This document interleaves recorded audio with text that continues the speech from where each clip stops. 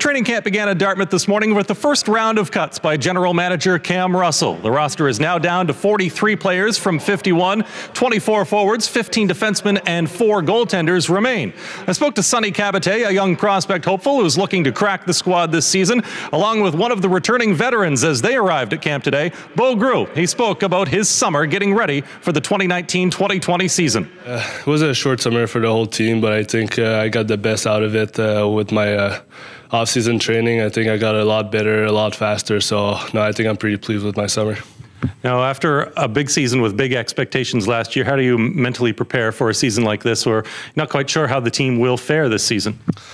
Yeah, I think uh, I think we still have a really good team. I think we can go. Uh, I think we can go really far. We got some uh, great D-core, great goalie. We got a great uh, offensive player. So I think we're still a team that uh, people look at us as uh, one of the top teams. So no, I think I'm pretty confident about our team this year. Another busy summer for you with the Anaheim Ducks with their system, and again with the uh, World Junior Camp as well. Uh, how was that for you, and uh, how exciting was it? Yeah, that was really good. That was pretty hard though because uh, like it's in the middle of the summer, so we're we're not on the ice as often as we would be during the season. So I think it was a little bit harder. I had to adjust a little bit uh, faster, but I think overall I, I did a good job. I think uh, I showed them what I was able to do. So no, I think I'm really happy with my camp. Yeah, what do you think your chances are for being able to crack that squad at Christmas time? Yeah, for sure. We're we're not there yet. I still got a, a lot of things to do before uh, cracking the lineup. I gotta gotta have a really good uh, rookie tournament in Anaheim. Then I gotta come back here and I gotta prove that I'm one of the best in the league. So uh, for sure, it's going to be hard, but I think uh, I have the coaches and the team uh, to help me to get there. All right, Sonny, uh, just coming off the ice, your first full practice with uh, head coach JJ Daigneault. Uh, what type of practice was it out there, and how are you feeling? Uh, well, it was a good skate. I felt great. You know, I feel good for tomorrow. Um, we didn't do too much, but you know, we got the legs going, and you know, I feel good.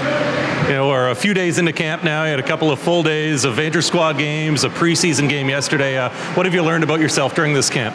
Well, I learned that you know all the training I did, you know, I'm I'm you know I'm not as as uh, I'd like to say tired as last year. You know, I, I feel good this year and I feel you know a lot better.